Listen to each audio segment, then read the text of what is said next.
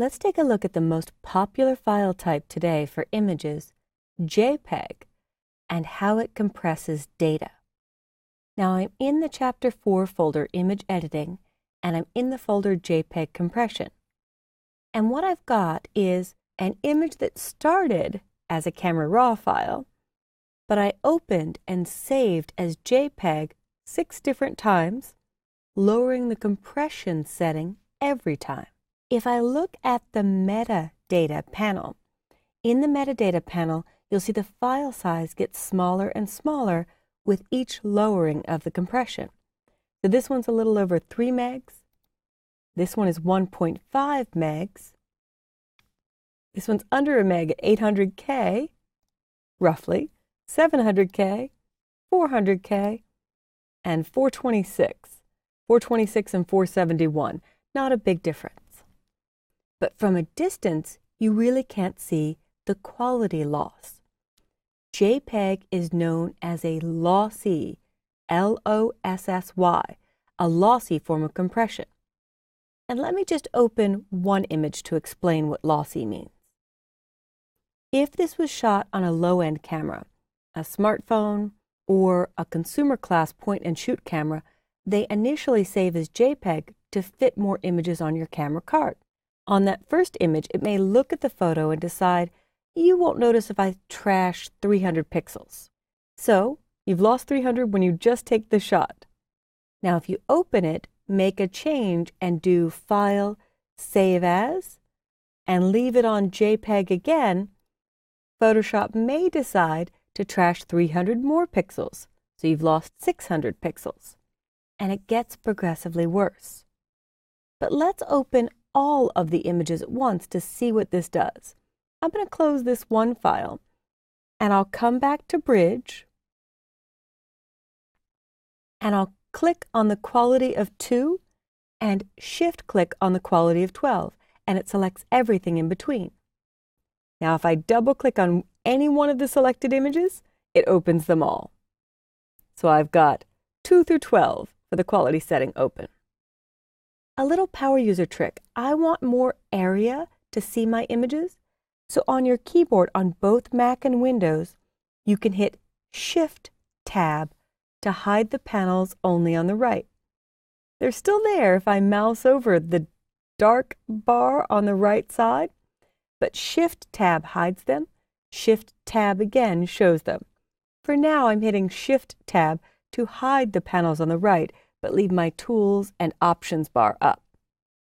And you'll see a super little secret checkbox that I turned on called Scroll All Windows on the Hand tool. So get ready to follow along with me by clicking once on the Hand tool or hitting the letter H for Hand. And we'll leave this off for now, but I'll show you what it does and why this is handy. Now Photoshop will arrange all six of these windows so I can view them at once. So window, arrange, and six up show me all six at once. The 12 quality image is selected, and then I have 10, 8, 6, 4, 2. But on the 12 quality image, I'm going to scroll down so I can get into the pasta and just choose View Zoom In twice. Hmm, let's go for three times. All right. Once I've zoomed in, I'm just going to pick a row of pasta to look at. So I'm looking at where these two pastas meet. Now, so that all windows go to that location, I'm going to choose Window, Arrange, Match All. All open images will go to 100% and that exact same spot. In fact, the trick on this image is all the images are the same width and height. All of them are 300 pixels per inch. The resolution, that number, is really separate from the compression technique.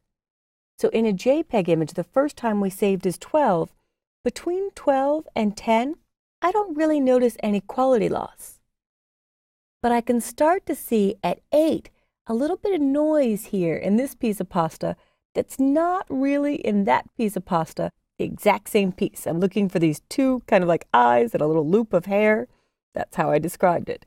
So between 12 and 10, I don't see much of anything. Maybe a little bit is visible here, but much more of the trashed pixels or lossy compression, the data it threw away, is obvious right here. You'll also start to see color shifts in given areas.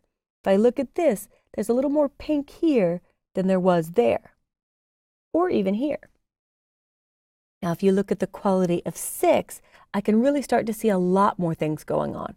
I see noise in this piece of pasta. You may see whole new colors peeking in like cyan or red or pink. And at quality of four or two, you can really clearly see patterns that have formed, and this looks like it's low resolution. But if I click on the quality of two just by clicking the title bar, under Image, Image Size, it is 7.2 by 4.8 at 300 pixels per inch. It's just been saved with a lower quality setting five previous times. There's no helping it anymore.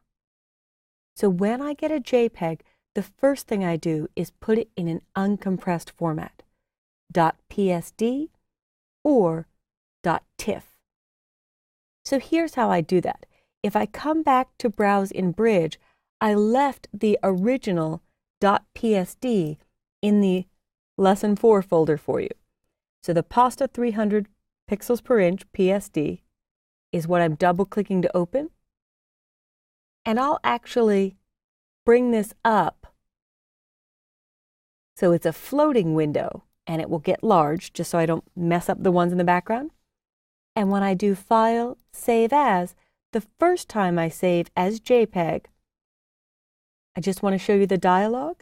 When I hit Save, here is where I chose my compression setting.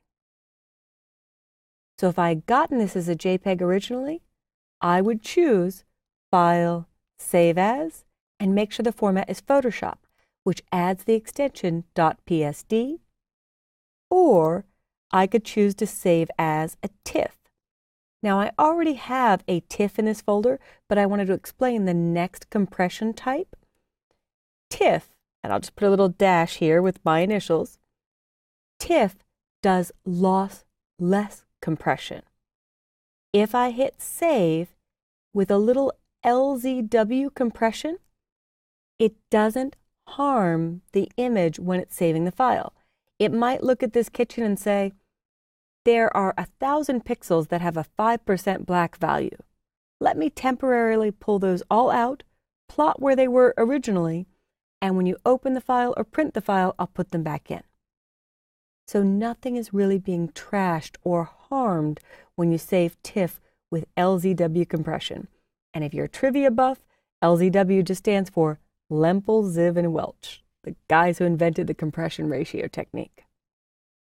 Now I promised to show you a handy little feature on the hand tool, no pun intended, so if I check the box Scroll All Windows while on the Hand tool and click on one document, it brings the view for all windows to the exact same spot. I love that for file comparison. And so for this example, it's really helpful. So the bottom line is if you receive a JPEG, get it in Photoshop or TIFF immediately so you don't destroy it as you make corrections. You could save one other version of a JPEG out to someone else and it won't lose that much quality because as we can see between 12 and 10, not a lot was lost. But I never work on the JPEG again because I don't want it to get progressively worse and worse if I keep saving over that same JPEG file.